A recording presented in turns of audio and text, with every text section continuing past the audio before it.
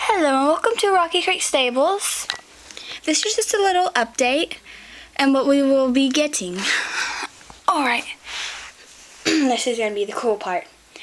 We made this really big. And, um, and we are going to get a light in here. Like, right there. Right there. Yes, right. Right there. Yeah, right there we are going to be getting a um like a light right there so the horses can see. And it is kind of dark in that little area. Okay. And we made this little area too.